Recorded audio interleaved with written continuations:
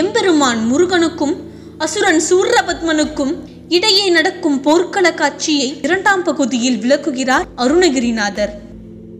தித்தித்தைய என்பது ஒரு வகையான தாளம்.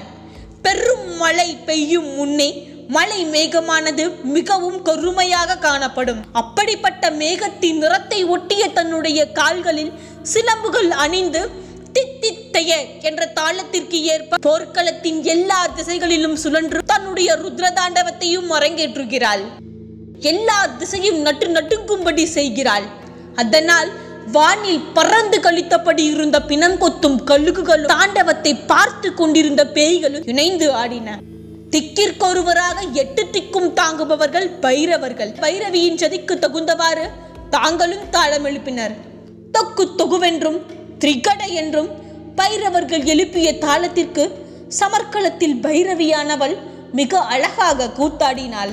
போர்க்களத்தில் வீரர்கள் மிகவும் தீரமாக போரிடுவர். அவர்களை மேலும் உற்சாகப்படுத்த முரசானது இசைக்கப்படும். அப்படி ஒலிக்கும் முரசின் ஒளியோடு பறை இசையின் ஒளியும் சேர்ந்து ஒலிக்கிறது.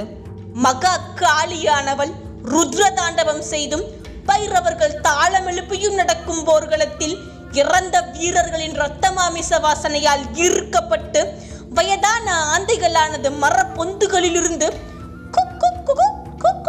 என்று சப்தம் எழுப்பின. அப்படி அவை எழுப்பிய ஓசையானது ஓடும் எதிரிகளை ஓடிப்பிடி அவர்களை குத்தி புதைத்து விடும் என்பது போல் இருந்தது. அப்படி குரல் எழுப்பிய ஆந்தைகளானது இரவு நேரத்திலும் பறந்து வட்டமடித்து நின்றன. போரில் கார்த்திகேயன் தன்னுடைய சேனை தலைவரான வீரபாகு தேவரை விட்டு சமாதானம் செய்ய முயன்றும் தானே நல்வழிகளை எடுத்துச் சொல்லியும் சூரபத்மனிடம் எவ்வித மாற்றமும் இல்லை. உண்மையில் அவனை நட்பு கொள்ளவே குமரனும் முயன்றான். ஆனால் அதை சூரபத்மனானவன் தன் அகந்தையால் தர்மத்தை வெறுத்து ஒதுக்கியதன் விளைவே அவனது மரணம். இப்படியாக அசுரர்களை சம்ஹரித்து யுத்தகலத்தில் ஆடிய பைரவிக்கும் அவள் பரிவாரங்களுக்கும் பலியிட்டான் கந்தன். சூரபத்மனுடைய தம்பியாகிய தாரகனின் வசிப்பிடம்தான் கிரௌஞ்சமலை. அப்படிப்பட்ட மலையை பொடி பொடியாய் வீழ்த்தியதிலே தொடங்கியது சூரபத்மனின் மரணம். குமரன மலையை அஞ்சாமல் தகர்த்தான் எனும் போதே குமரவிடங்கனின் பலம் புரிந்திருக்க வேண்டும். ஆனால் சூரனுக்கு அங்கு அவன் அகந்தையும் அகங்காரமும் அவனை சிந்திக்காமல் தடுத்தது. வளம் பொருந்திய தாரகன் சிங்கமுகன் சூரபத்மன் என்று எல்லோரும் இறக்க வேல் தொடுத்து போர் செய்ய வல்ல முருகப்பெருமான் என்கிறார் நம்முடைய அருணகிரிநாதர்.